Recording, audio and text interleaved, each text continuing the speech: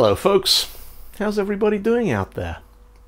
When Tim Berners-Lee first created HTTP way back in the early 1990s, he included a whole bunch of HTTP status codes that seemed like they might turn out to be useful. The one everybody knows is 404 not found, because as a human being browsing around the web, you see that one a lot. Some of them are basically invisible to humans. Every time you load a web page, there is actually an HTTP 200 OK happening behind the scenes, but you don't see that unless you go looking for it. It's the same with various kinds of redirects. If the server gives back a HTTP 301, it's saying, hey, the page you wanted has moved permanently, here's the new address. A 307 temporary redirect is saying, that's over there right now, but it might be back here later, so don't update your bookmarks. And a 304 is saying to your browser, hey, the version of the page that's in your cache is still good. Just use that one. Now, if, like me, you've spent a lot of time building web apps and APIs, you've probably spent hours of your life poring over the HTTP specifications looking for the best response code for a particular situation. Like, if somebody asks for something which they just deleted, should you return a 404 not found? Or a HTTP 410 gone? Hey, that used to be here, but it's gone and it isn't coming back. And along the way, you've probably noticed this HTTP status code, HTTP 402 payment required.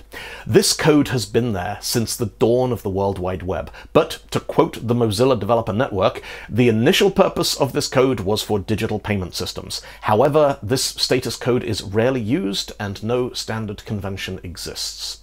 Well, that might be about to change. Earlier this week, the folks over at Cloudflare announced that they're introducing something called pay per crawl, enabling content owners to charge AI crawlers for access. Let's put that in context for a second. For the vast majority of commercial websites out there, their ability to make money is directly linked to how many humans are browsing their site. Advertising, engagement, growth, subscribers, however you want to slice it, if you want to monetize the web, you probably want humans looking at your content.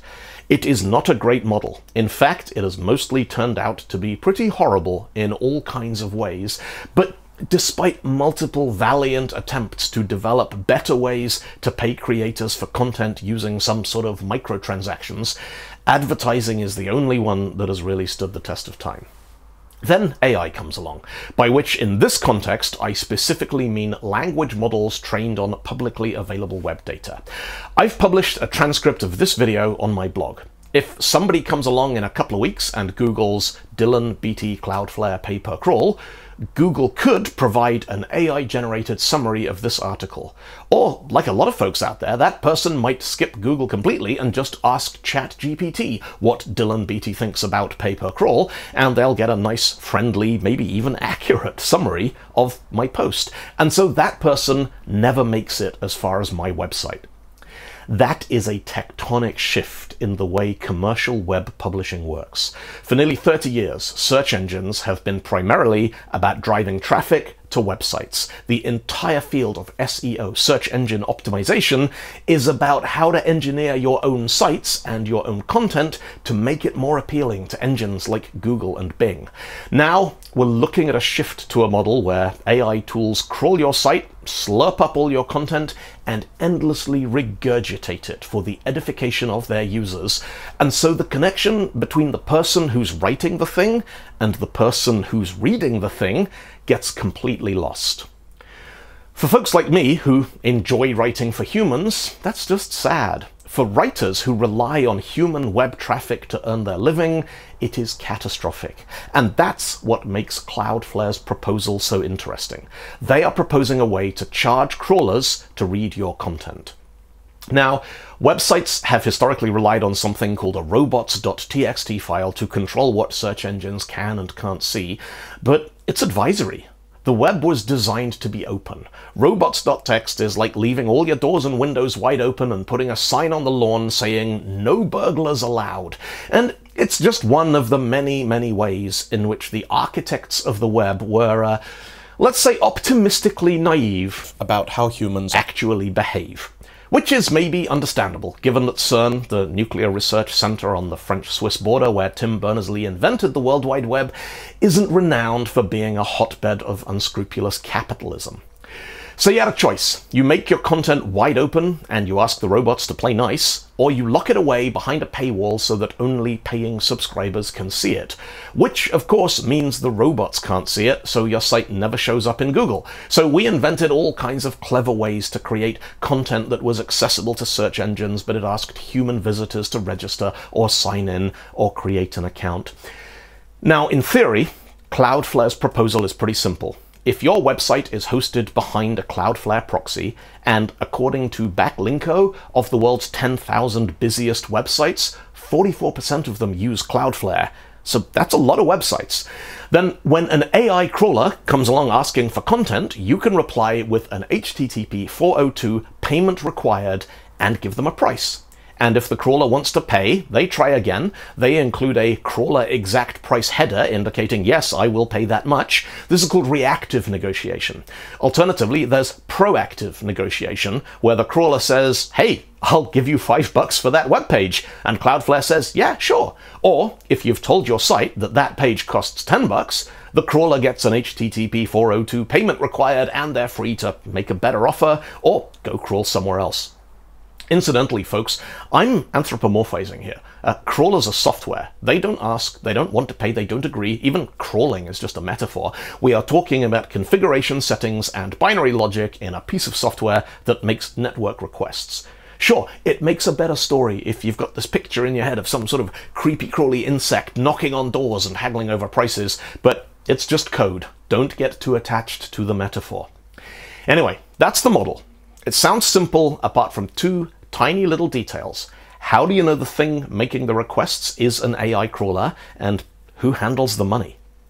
The first part is being done using a proposal called WebBotAuth, which is based on two drafts from the Internet Engineering Task Force, the IETF. One, known as the directory draft, is a mechanism for allowing crawlers and webbots to publish a cryptographic key that websites can use to authenticate those bots. And the second, the protocol draft, is a mechanism for using those keys to validate individual HTTP requests. That way, anybody running a web crawler can create a cryptographic key pair, register that key pair with Cloudflare. Hey, we are legit. Our crawler will identify itself using this key. Here is the URL where you can validate the key. And by the way, here is where you send the bill. And that's the second part. Cloudflare is proposing to aggregate all of those requests, charge the crawler account, and distribute the revenue to the website owners whose content is being crawled.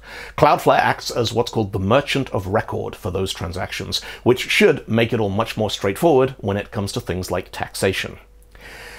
Let's be realistic here. The technical bits of this are not that complicated. They are built using existing web standards and protocols. The financial elements of the proposal are far more complex, but this is Cloudflare. It's a company that probably understands the relationship between internet traffic, billing, and international revenue models better than anybody. There's one big question that isn't addressed in their post, what stops AI bots just pretending to be regular humans using regular browsers and bypassing the whole pay per crawl thing? I'm guessing that, this being Cloudflare, AI bot detection is one of the things they are quite good at. But Publishers also have the option now of putting everything behind some kind of paywall. Humans have to sign in and bots have to validate. There's also no indication as to what sort of amounts they have in mind, beyond the fact that their examples are in US dollars as opposed to, say, micros, which are a standard unit of currency in Google's payment API that is worth one millionth of a US dollar. But I guess capitalism will figure that out. Folks, I have to be honest, I've been working on the web since it was invented, and this is the first thing I've seen in a long, long time that is genuinely exciting. Not necessarily at face value. I don't care that much about Cloudflare making AI bots pay to crawl websites. No, what's exciting is that if Cloudflare goes all in on this, it could be a big step towards a standard model and a set of protocols for monetizing automated access to online content, even if neither Cloudflare nor AI is involved. Imagine a decentralized music streaming service where the artists host their own media and playback apps negotiate access to that media via a central broker broker that validates the app requests and distributes the revenue. Playback costs 10 cents. If an AI wants to ingest, mash up, and remix your music, 50 bucks. Or a local news site that can actually make money out of covering local news. How much would you pay to know what's actually going on with all those sirens and smoke down at the end of the high street from an experienced reporter who's actually on the scene asking questions, as opposed to somebody in an office recycling stuff they've read on social media? And the fact that the proposal is based around 402 payment required, something that's been part of the web since the days before Google, Facebook, something that's older than Netscape and Internet Explorer, that just makes me happy. It reminds me of the web back in the 1990s, when the protocols and proposals were all still new and exciting, and it seemed like there was no limit to what we'd be able to build with them. And yeah, perhaps I'm being overly optimistic, but you know, looking around at the state of the world and the web these days, maybe we could all use a little optimism. I'm going to be watching what happens around Cloudflare's proposal with great interest, and I'd love to know what you all think about it. Wonderful idea? Terrible idea? Nice idea, but it'll never work? Leave a comment. Let me know what you think. Now, before we wrap up, I have to do something they call marketing. I know, it sounds ghastly, but I'm running some online workshops over the summer, starting with this one, From Keyboard to Keynote, crafting great technical talks, and it'll go way better if some of you sign up. For the last 15 years, I've been bouncing around the world and the internet giving presentations about technology, explaining how tech actually works, teaching people to write code and design systems. And in this workshop, I'll teach you everything I've learned how to choose a topic, how to construct a talk, how to rehearse effectively. There's advice about submitting your talks to conferences and meetups, how to create great slide decks, working with images, video, live demos, what to do if you're on stage and your live demo doesn't work, and a whole bunch of tips and stories from my own career as a tech speaker. It's two half-day sessions live on Zoom, and yes, you will need to switch your camera on. The next one is coming up on the 29th and 30th of July, 2 p.m. to 6 p.m. UK time. There's more details at dylanbeattie.net slash kb2kn. Early bird tickets are £225, and the first five people to use the code YouTube will get 25% off. It would be lovely to see a few of you there. Until then, folks, I hope you found that interesting. You'll take it easy out there, you look after each other. Don't forget to have fun, and I'll catch you next time. Bye bye.